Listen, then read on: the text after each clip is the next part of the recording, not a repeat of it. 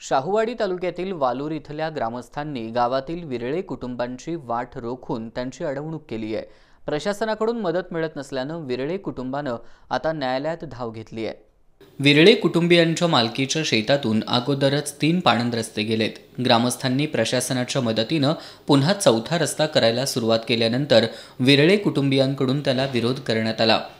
या विरोधानंतर ग्रामस्थांनी आपल्या कुटुंबाच्या वहिवाटीचे सर्वच रस्ते बंद करत अडवणूक सुरू केली आहे असा आरोप विरळे कुटुंबियांनी आहे याबाबत न्याय मिळावा म्हणून न्यायालयात धाव घेतली असून तिथं आपल्याला न्याय मिळावा अशी अपेक्षा या कुटुंबानं व्यक्त केली आहे.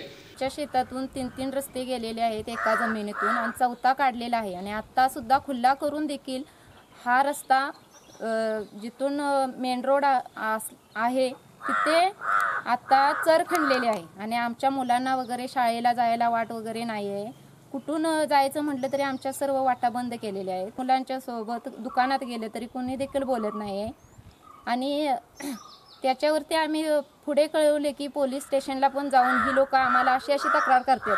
पण आमची कोणीही दखल घेत नाही. सबनीच्यातनं रस्ता गेला आहे तो गोगल गायला गायला आहे कागदाला आहे नकाशाला सगळं ब त्याचं हे बी पडलं या. बजे बिजेट सगळं पडलेलं आहे. आणि तो आम्हाला आडी आडीवला आहे त्यानं. आणि आमच्यातनं तीन रस्ता जाऊन बी आमचा चौथा रस्ता जबरदस्तीने काढला या पोलीस बंदोबस्त करून. आणि आम्हाला न्याय काय न्याय मिळावा म्हणून आम्हाची विनंती आहे. याबाबत वालूर ग्रामपंचायतीच्या सरपंचांशी संपर्क साधण्याचा प्रयत्न केला असता त्यांच्याशी संपर्क होऊ शकला नाही.